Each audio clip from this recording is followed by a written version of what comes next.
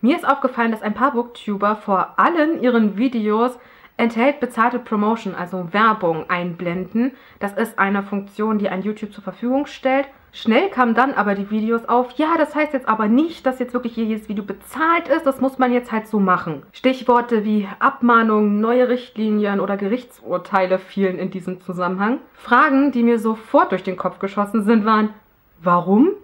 Seit wann?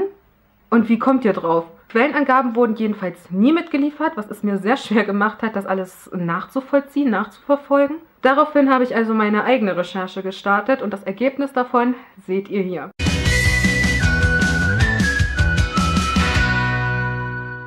Hallo zusammen, willkommen zu diesem Video. Ein paar Hinweise gleich mal vorweg. Dieses Video hier ist mein Rechercheergebnis. Es ist keine Rechtsberatung. Diesen Recherchegang habe ich euch in Form von Links unten in die Infobox gepackt, damit ihr das nachvollziehen könnt, damit ihr sehen könnt, worauf ich mich stütze, wenn ich hier etwas erzähle. Also eine Quellenangabe, eine Angabe, die ich mir bei so manch anderen auch gewünscht hätte. Woher kommt also dieses Phänomen, dieses fragwürdige Kennzeichnen von allen Videos, ich hoffe, ihr habt Zeit mitgebracht, denn das kann jetzt ein bisschen länger dauern. Mir wurde der Hinweis gegeben, dass das auf Instagram begonnen hat. Ich tippe in diesem Zusammenhang auf dieses Rossmann-Urteil. Dort geht es um Schleichwerbung von Influencern. Im Vorfeld gingen auch mehrere Abmahnungen rum, wegen fehlender Werbekennzeichnung bei YouTubern und Instagrammern. Was ist passiert? Vielleicht sagt euch der Fall Flying Uwe etwas. Dieser YouTuber wurde mehrfach von der Landesmedienanstalt Hamburg-Schleswig-Holstein dazu aufgefordert, Videos, in dem er ein Produkt besonders ausgiebig sehr positiv dargestellt hat, also es beworben hat, als Dauerwerbesendung zu kennzeichnen. Dem ist er bewusst nicht nachgekommen und hat sogar noch zusätzlich ein spöttisches Video dazu hochgeladen, woraufhin er dann zu 10.500 Euro belangt wurde finde ich nachvollziehbar, finde ich gerechtfertigt. Es gab auch mehrere Abmahnungen gegen große Instagrammer, weil sie Werbeposts nicht als solche gekennzeichnet haben. Wenn überhaupt wurde Hashtag Ad oder Hashtag Sponsored verwendet und das galt zu der damaligen Zeit eben als Grauzone. Also es war strittig, ob das als Kennzeichnung jetzt ausreicht oder nicht. Grundlage ist eine Erneuerung im Medienrecht. Unter anderem betraf das eben den Paragraphen 5a des UWG, also des unlauteren Wettbewerbsgesetzes von 2015. Dort fand eine Anpassung an ähm, die EU-Richtlinien statt. Folge war das Rossmann-Urteil des Oberlandesgerichtes Celle im Juni 2017. Dort wurde bestimmt, dass die Kennzeichnung von Werbung mit diesem Hashtag Ad gerade auch in Kombination mit noch mehreren anderen Hashtags nicht ausreichend ist, dass das keine ausreichende Kennzeichnung ist.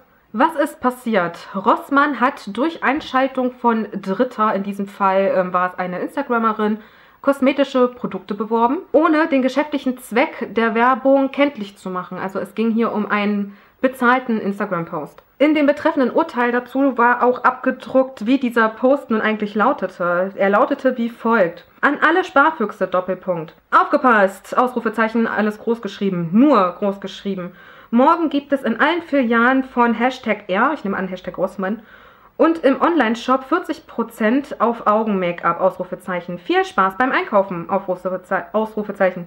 Es folgten dann noch so ein paar Ads und Hashtags ähm, und dazu war eben das Foto, die Abbildung mit zweier weiblicher Unterarme mit Kosmetika und Schmuckstücken. An zweiter Stelle Hashtag Ad von sechs Hashtags ähm, ganz zum Schluss halt des Beitrags. Wie gesagt, das habe ich dem Urteil entnommen, ist auch alles unten verlinkt. Und das Gericht entschied, dass das als Kennzeichnung eben nicht ausreicht. Der Hinweis, also der Werbehinweis, dass dieser Post Werbung ist, muss deutlich erfolgen, dass aus Sicht eines durchschnittlichen Mitglieds der jeweils angesprochenen oder betroffenen Verbraucherkreises kein Zweifel am Vorliegen eines kommerziellen Zweckes besteht. Weiterhin heißt es, der kommerzielle Zweck muss auf den ersten Blick hervortreten. Und genau das ist eben nicht der Fall, gerade auch wenn dieser Hashtag Ad in einem Hashtag-Wald untergeht, dass da eine Welle durch die Instagrammer ging, die sich für ihre Posts eben bezahlen lassen und vorher nur diese Kennzeichnung ähm, verwendet haben, das verstehe ich. Das erklärt für mich aber nicht, warum jetzt plötzlich einige eine inflationäre Kennzeichnung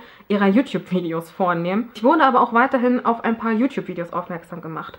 Eins von ähm, Glacy Naylor, falls es ausgesprochen wird, Melody of Books und Cerebral Books. So, sehr undurchsichtig zum Teil, sehr lang, mit Behauptungen ohne Quellenangabe. Super. In zwei von den Videos, nämlich einmal das von Luna, also Glacy Naylor und Melody of Books, kam die Erwähnung von Affiliate Links. In meinen Worten wiedergegeben lautete die Behauptung, man müsse diese Kennzeichnung, also dieses enthält bezahlte Promotion, einblenden, sobald man in der Infobox Affiliate-Links verwendet. Da wurde ich natürlich hellhörig, denn wenn es dazu neue Vorschriften und Gesetze gibt, dann möchte ich das wissen. Zumal das ja auch impliziert, dass jeder, der es nicht so macht, rechtswidrig handelt. Eine Quelle wurde natürlich nicht verlinkt, auch nicht genannt. Ich habe mich daraufhin also selbst ans Recherchieren gemacht und siehe da, ich habe nichts gefunden. Ich weiß nicht, woher dieses Gerücht kommt, dass man enthält bezahlte Promotion ins Video einfügen muss, wenn man Affiliate-Links in der Infobox verwendet. Nach meinem jetzt ja nochmal aufgefrischten Wissensstand ist das falsch, beziehungsweise ist das nicht erforderlich.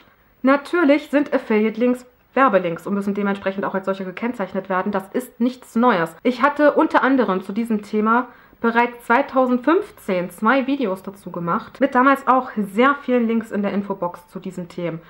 Nochmal kurz zusammengefasst.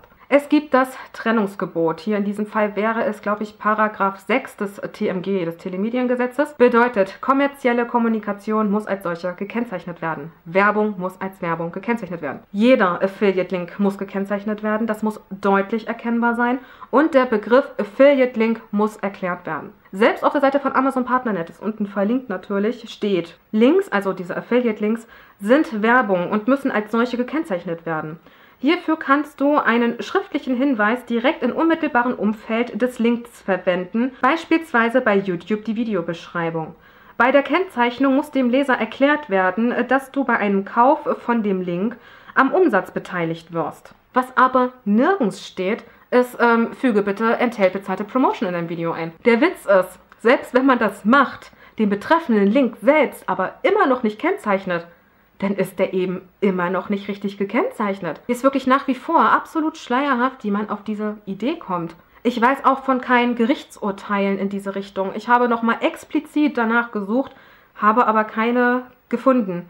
Was mich auch verwundert hat, dass es hieß, dass Rezensionsexemplare kennzeichnungspflichtige Werbung sei. Bei Jessie wurde das nur so ganz kurz in so einem Halbsatz erwähnt, bei Sarah Bow sehr vehement. Dort wurde auch kurz Abmahnung eingeworfen.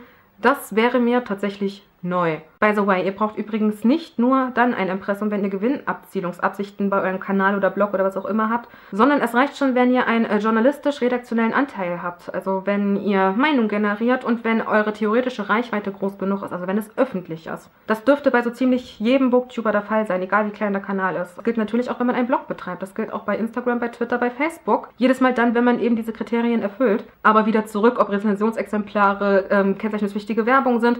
Nach meinem Wissen gibt es dazu keine Gerichtsurteile. Ich wüsste auch nichts von Abmahnungen wegen fehlender Kennzeichnungen bei Rezensionsexemplaren. Also jedenfalls nicht, wenn die betroffene Rezension nicht noch zusätzlich bezahlt wurde. Und auch dort keine genannten Quellen zum Nachverfolgen. Nach meinem Wissensstand sind Rezensionsexemplare nach wie vor eine dieser berühmten Grauzonen.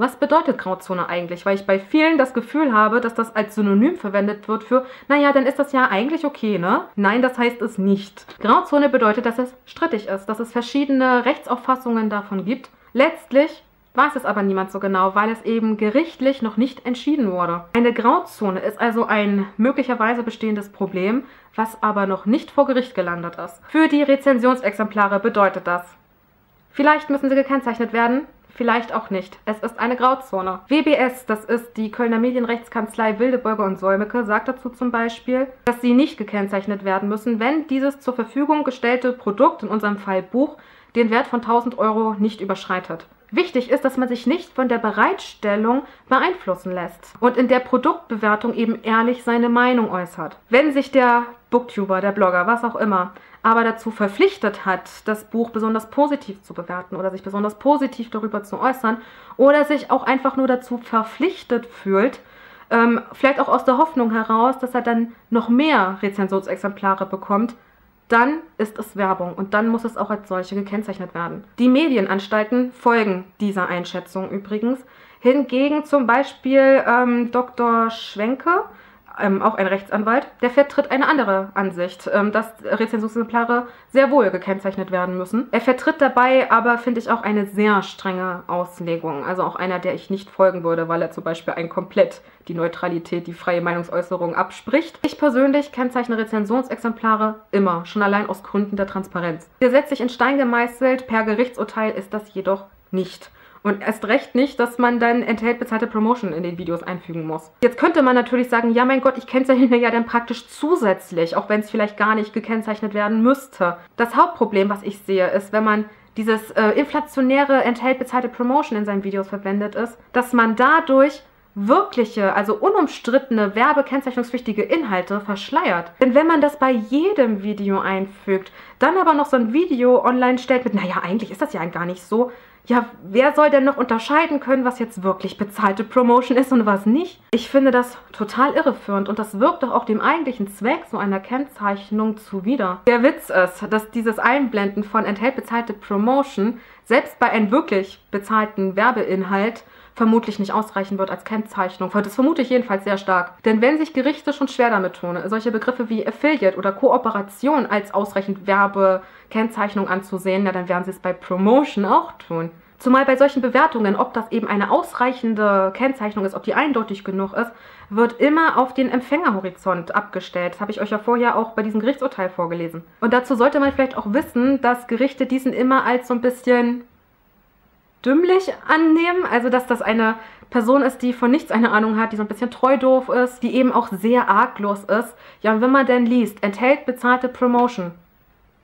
Was soll das denn heißen? Ich würde also sehr stark bezweifeln, dass wenn man eben wirklich ein bezahltes Video oder eine Produktplatzierung ähm, in seinem Video hat, dass es dort ausreichend ist, wenn man dieses enthält bezahlte Promotion einblenden lässt. Wage ich ernsthaft zu bezweifeln. So oder so halte ich also diese inflationäre und fehlgeleitete Kennzeichnung mit enthält bezahlte Promotion für unsinnig, wenn nicht sogar für gefährlich, weil so eben möglicherweise wirkliche Werbung verschleiert wird. Warum das überhaupt aufgekommen ist, woher dieses Gerücht gekommen ist, dass man das jetzt so machen müsse, ist mir nach wie vor schleierhaft. Verstärkt wurde das Ganze sogar noch, als ich nochmal nachgeguckt habe bei den Personen, wo ich halt gesehen habe, dass sie das so kennzeichnen neuerdings. Und dann festgestellt habe, ja zum Teil jetzt aber auch nicht mehr. Zum Beispiel bei Melody of Books, der Book Hall vom 6.9.2017, der war jetzt als Enthält Promotion gekennzeichnet das Video aber über den Lesemonat August 2017 zum Beispiel nicht mehr. Obwohl bei beiden Videos in der Infobox Affiliate-Links verwendet wurden, wobei die auch ähm, gekennzeichnet waren. Wobei in der Erklärung auch stand, Hashtag enthält Werbung für den Anbieter was soll mir das jetzt sagen? Keine Ahnung. Bei Sarah Bo Books das gleiche. Das neueste Video, also dieses 10 Arten Hörbuch hören, ähm, das war gekennzeichnet als ähm, enthält bezahlte Promotion, wobei auch, ne, weiße Schrift auf weißem Hintergrund, super. Bei dem Video stand in der Infobox aber auch ähm, freundliche Kooperation mit irgendwer, ähm, keine Ahnung, was das heißen soll. Wie gesagt, Kooperation finde ich jetzt auch nicht unbedingt eindeutig. In irgendeiner Form wurde das Video vermutlich bezahlt. Hingegen der Lesemonat zum August, der war auch nicht mit hier enthält bezahlte Promotion gekennzeichnet obwohl auch dort in der Infobox ähm, Affiliate-Links verwendet wurden. Auch wenn man da in die Infobox guckt, sieht aber auch jeder anders aus. Also mal ähm, ist nur das Equipment mit so einem Stern gekennzeichnet, mal sind alle Affiliate-Links, die für mich ersichtliche Affiliate-Links waren, mit einem Stern gekennzeichnet, wobei ich ja auch finde, dass die jeweilige Erklärung dazu immer sehr schwammig ist. Dass mal ein Video mit enthält bezahlte Promotion gekennzeichnet ist, mal nicht, habe ich auch bei Regenbogengarten gesehen. Also zum Beispiel das Weekly Nummer 31, da wurde ähm, be äh, enthält bezahlte Promotion eingeblendet, bei dem Neuzugänge-Video zu dem August 2017 wieder nicht. Dass durchgängig jedes Video gekennzeichnet wurde mit enthält bezahlte Promotion, habe ich jetzt eigentlich nur noch bei Empire of Books und ähm, Glacy Naylor gesehen. Keine Ahnung, ob es noch andere Booktuber gibt. Also für mich im Moment diese Aufnahme ist das jedenfalls der Stand. Das ist für mich der 15. September 2017. Ja, was denn jetzt? Waren die anderen Videos, die mit ähm, enthält bezahlte Promotion gekennzeichnet waren, doch bezahlt und die, die jetzt nicht gekennzeichnet wurden, eben nicht? Gab es neue Erkenntnisse? Ein extra Video gab es dann dafür aber nicht. Ja, damit wäre die Verwirrung jetzt perfekt. Jetzt weiß doch wirklich niemand mehr, was ist denn jetzt wirklich Werbung und was nicht. Das Fazit, was ich ziehen möchte. Das Internet ist kein rechtsfreier Raum. Das ist nicht nur so ein Spruch. Es gibt viele Gesetze, die man beachten muss. Eben gerade auch als YouTuber, also als mit einem aktiven Booktube-Kanal, ähm, als Blogger, als Bookstagrammer, was auch immer. Und das ist auch nicht so durchsichtig, auch nicht so eindeutig, wie es schön wäre, wie es ähm, vielleicht auch wünschenswert wäre. Es ist jetzt aber auch nicht so kompliziert, wie es manchmal dargestellt wird. Es gibt auch Kanzleien, Anwälte hier auf YouTube. Ähm, WBS ist zum Beispiel so ein Kanal. Die haben eine ganze Videoreihe darüber gemacht, was es da so für Regeln gibt, wie man sich daran halten kann. Also das Material ist da. Man muss aber bereit sein, den Willen dafür aufzubringen, sich damit eben auch zu beschäftigen. Okay, geschafft. Das war's jetzt auch mit diesem Video. Das war's von meiner Seite aus. Ich wünsche euch einen schönen restlichen Tag und wenn ihr wollt, sehen wir uns im nächsten Video. Tschüss!